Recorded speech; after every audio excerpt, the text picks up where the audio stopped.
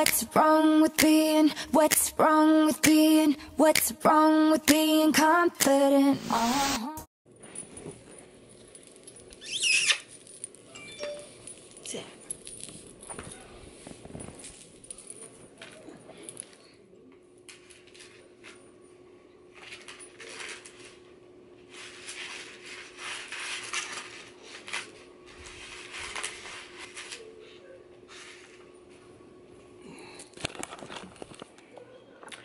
Afternoon y'all. It is thursday uh april 5th and bond and i are at my father-in-law's house. We got here last night uh we drove from hollywood to jacksonville and got here in four and a half hours and no mr long was not speeding or hauling ass. No he wasn't. Uh we just didn't run into a lot of traffic during the time that we left yesterday. So I have been taking today to just recuperate and to get my mind right for tomorrow's long road trip back to Jersey. what do I mean by that? Um, I was gonna exercise today. However, I think I'm in unison with Mr. Long about how he hasn't been able to do his homework since like we've been traveling and stuff like that. And y'all i packed i packed to work out every day. And like right now i don't work out clothes. Fun. I haven't workout clothes. However it's just when everybody is always moving things are always like happening people want to see you visit yada yada yada it just becomes challenging. So i just said that um I think later on this evening, I'm probably take Bond on a very long walk and I'm gonna get some cardio in today. Then I'm gonna come back, take a shower, eat dinner, put my clothes on for first thing in the morning for us to get up at 5 a.m. and head back to Jersey. So we should be home tomorrow, no later than 8 o'clock if we don't run into traffic or weather. So I had a great time at my mom's house. Um, I really, really, I'm just really pleased that I was able and I was in a position to where I could go down to South Florida, see my sister. She had just had a baby and um, spend quality time with her and my little nephew Kansas. Uh, some memories that I will forever cherish also you know just spending quality time with my mama.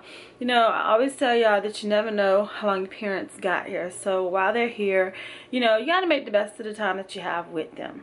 Speaking of a lot of y'all have left some comments in regards to my father.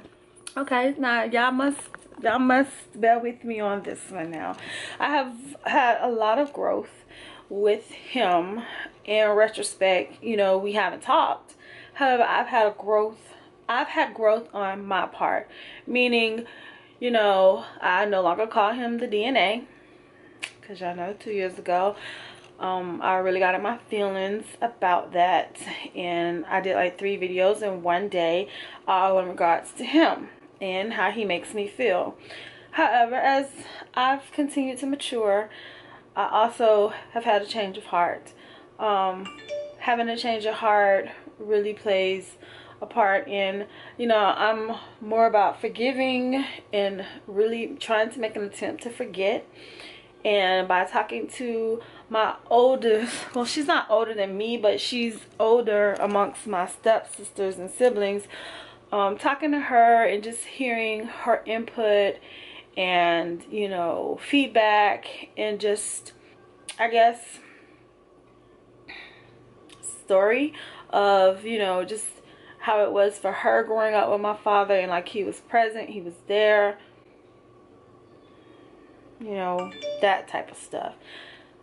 However y'all y'all have all been very um opinionated about how some of you think you know I should reach out to him and you know I should just bite the bullet to make my circle complete. You know, I should just be the one to show him what a better being a better person looks like. However, y'all, I've already done that. I've already done that, and I've written letters.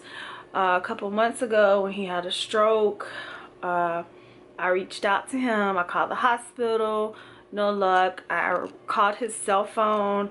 I called i texted his cell phone. Now my sister felicia she did tell me the other day when um we met up that she told me he's not good with texting. However what's wrong with i know ain't nothing wrong with your fingers. You know what i'm saying? So like you know what's wrong with calling someone back that called you and left a voicemail? And y'all i'm not gonna lie that was very very hard for me to do and i am in a i'm in a place now where you know i'm healing and i, I want to be a better me and i don't necessarily think being a better me requires me to continue to like just put myself out there to just continue to get disappointed I love him because he is my father. I love what I do and I have learned about him in the past couple of months.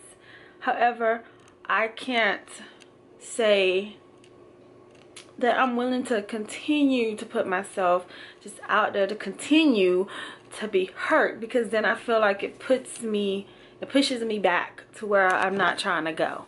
And I just know that through my sisters and if he does watch my YouTube channel, he knows. I love him. My heart is open. I'm open to receive him. I'm open to not live in the past. I can't get the past back. And that's the reality of it all. I'm just working on today and moving forward in my future. And little me, little me, little me, um, my little inner voice in me, uh, she's telling me, stuff you don't want to get hurt. stuff you know, um, he should be calling you because, you know, you're the child. He's an adult. He's the parent. However, y'all, future me, future me, you know, me that wants to elevate and grow and all of that stuff. Um, future me is telling me, Steph, you've done your part. And now all I could do is continue to pray, leave it in God's hands. One of you have mentioned to me that you went through the same thing and your father ended up passing away. You were the only child that was not in attendance at the funeral. And you know, you just you you've been through the same situation that I have and pretty much, you know, I guess if you had the opportunity to do it, do it again, you know, you do, do things differently.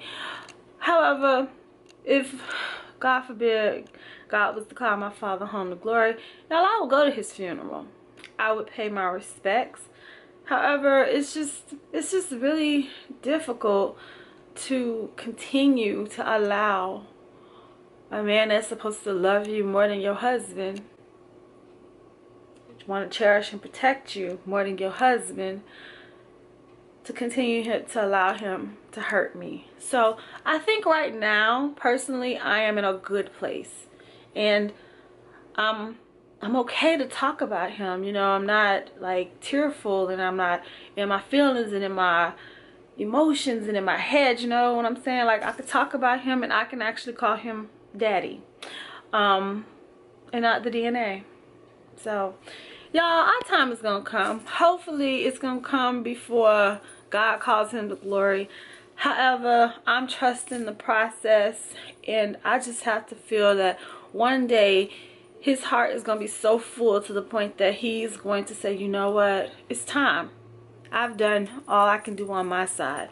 And some of y'all keep saying stuff just go see him it ain't that easy either i don't know where he lives I don't. And I am not in the business of just popping up at people's house.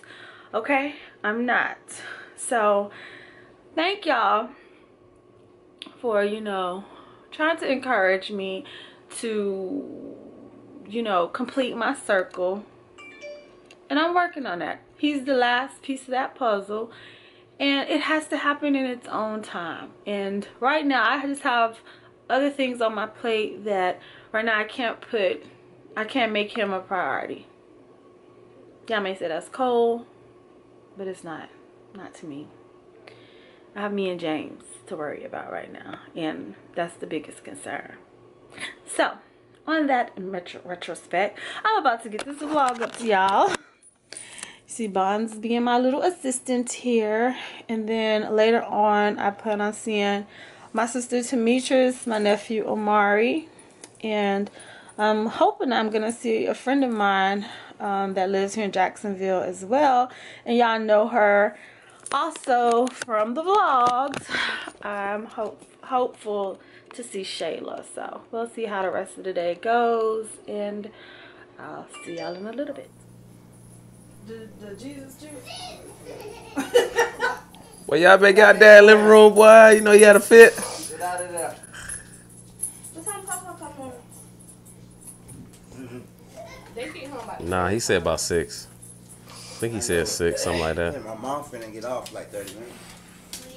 Yeah, she said about five.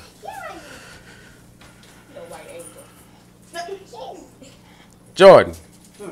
what's up, girl? Hey, girl. Jayla, hey, girl. What's up, girl? Hey! this got a straw. there ain't even none in here. Get off of me. They be looking for the breast. No, my grandma said she ain't got no titty. the right. My grandma said she was gonna watch the baby, but she forgot she ain't had no Chip, Josiah, Long. What up, boy? It's just He, he don't he don't take Bobo like a passy. He doesn't like it. Oh good. We we just Only time he to, really do the passage when he about to go to sleep. Oh, okay. He just yeah, we have to hold it. Jamlin, to spit it out. Jordan, Jayla, Ebony, Put this out the way. Steph, J Dub.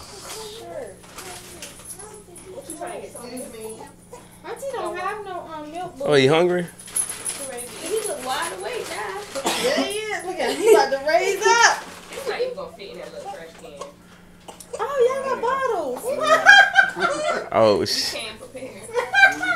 y'all got bottles. you doing that thing too? Yeah, she's breastfeeding too. Okay. I know Ashley be doing that. I be like, what the heck? Breastfeed. She going, she going to the other room. Like, what you doing? No, she'll go in the other room and come back out with the blanket over it. Oh, Watch okay. the pump with you. Y'all be prepared, y'all. I was wondering. Cause I'm like, how can Papa help with the feeding? If, uh, oh, the feed. Look, it closes after the, the lights go away. Look, this one gotta get gotta